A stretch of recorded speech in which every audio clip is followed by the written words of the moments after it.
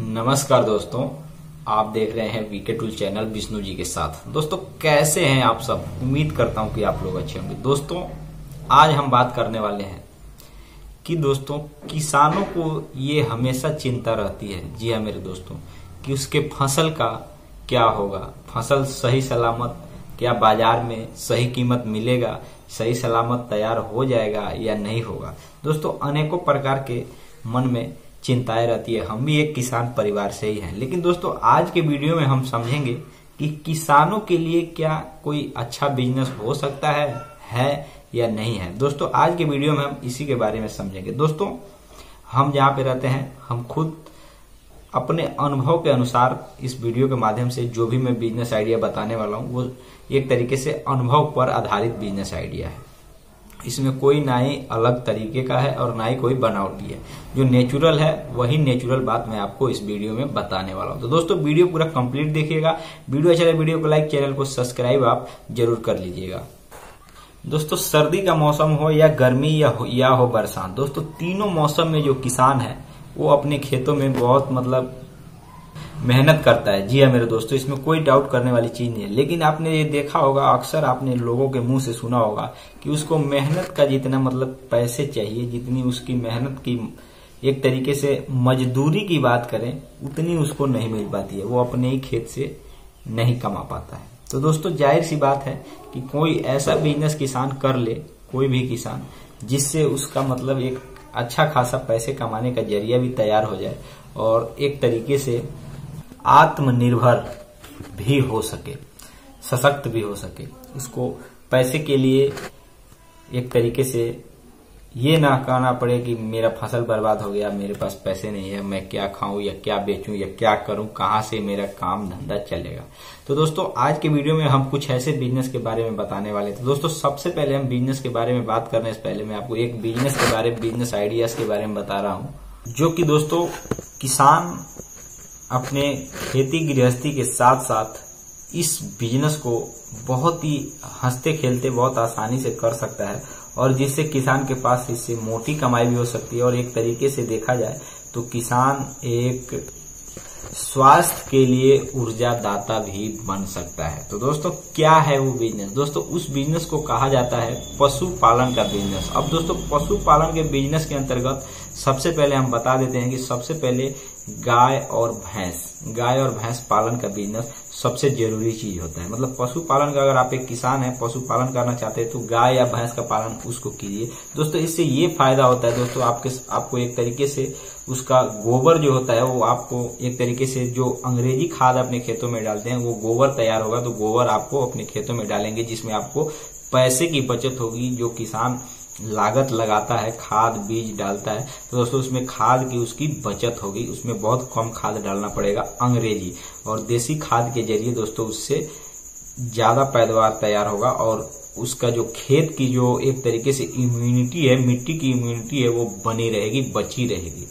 तो दोस्तों, इन सब बातों को भी ध्यान देने की बहुत ज़रूरत है। जो भी किसान अगर मान कर चलिए इस व्यापार को करना करते हैं, व्यवसाय वो करते हैं, पशुपालन, व्यवसाय। तो दोस्तों, उनके आपने देखा होगा कि अक्सर, मैं गाँव के एक्सपीरियंस की बात कर रहा हूँ, अक्सर देखा होगा, और आपके अगर अगर आप आप भी एक किसान होंगे तो ये आपको जानते होंगे कि अपने जो खेत, अपने जो खेत होता है मतलब खुद का जो आपके, आपका खेत होता है, दोस्तों, उसमें अगर आपके पास पशु नहीं है तो ज़ाहिर सी बात है आपको देसी खाद नहीं मिलता होगा। बहुत, और मिलता भी होगा तो काफ़ी ज़्यादा महँगे कीमत में आपको मिलता होगा, जिसमें आपको महँगे खाद डालने के कारण उसकी जो लागत होगी जिस फ़सल की उसकी लागत ज़्यादा हो जाती है जिसके कारण उस हिसाब से आपको आमदनी उतने में उत, बेचने के बाद भी उतना आपको मुनाफा नहीं होता है।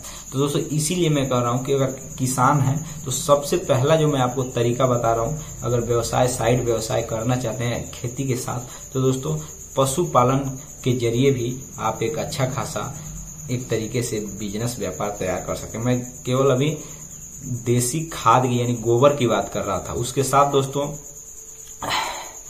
आप दूध दूध की डेयरी भी साथ में खोल सकते हैं। अगर आप मान करके चलिए कि 10 कम से कम अगर 10 मतलब छोटे या बड़े मिलाकर के 10 भी अगर गाय और भैंस दोनों अगर आपने एक साथ पाला हुआ है तो दोस्तों ज़ाहिर सी बात है कि आपके पास प्रॉपर्टी आप कई लाख रुपए की आपके पास प्रॉपर्टी है। अभी एक एक भैंस का कीमत अगर अभी देखा जाए तो साठ से नब्बे हज़ार, पंचानवे हज़ार रुपए तक के बीच में ये जो हमारे छोटे छोटे गाँव है, उसमें इनकी कीमत बिक रही है। गाय की बात की जाए तो 40 से लेकर साठ हज़ार के बीच में गाय बिक रही है। जो दूध देती है वह। तो दोस्तों, इस तरीके से दोस्तों, इनका डिमांड भी ज़्यादा है। इनके एक तरीके से जो गाय और भैंस दूध देते हैं, उनका दूध का भी डिमांड ज़्यादा है। तो दोस्तों, इसमें कहीं पर भी ऐसा नहीं लगता है जिसमें आपको कोई घाटा लगने का चांस हो।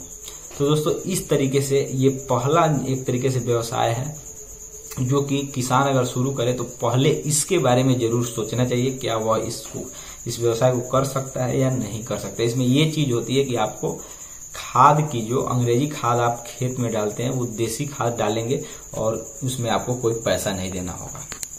दोस्तों, इसके साथ ही दोस्तों, किसान को एक तरीके से मान करके चलिए।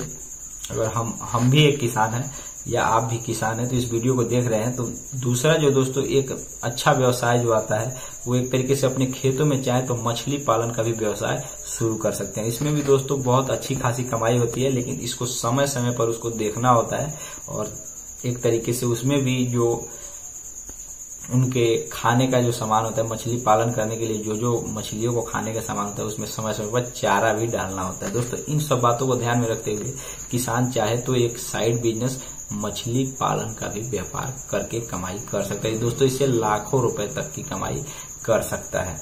इसके बाद दोस्तों आता है बकरी पालन का भी व्यवसाय। दोस्तों, बकरी पालन का भी व्यवसाय एक अच्छा व्यवसाय है। किसान भी किसान इसको अच्छे तरीके से स्टार्ट कर सकते हैं। उसके बाद आता है मुर्गी पालन। दोस्तों, अभी देखा जाए, अभी के समय में तो मुर्गी पालन का व्यापार पहले के मुकाबले कई गुना बढ़ चुका है। और इसका डिमांड भी आप देख रहे होंगे मार्केट में कि पहले के ज़्यादा बहुत से लोग इसको खाने के लिए इच्छुक हो चुके हैं। लेकिन वैसे दोस्तों, इसको एक तरीके से अगर बिज़नेस के लिहाज से अगर देखा जाए तो दोस्तों, इसमें भी दोस्तों, अगर आप चाहें तो अगर एक किसान है तो मुर्गी पालन का भी व्यापार आसानी से कर सकते हैं। उससे अंडे तैयार करके दोस्तों मुर्गी के ज़रिए आप अंडे भी बेच सकते हैं और मुर्गी पालन करके मुर्गी को भी बेच सकते हैं। मतलब एक तरीके से यह भी व्यापार जो है किसान भी कर सकता है।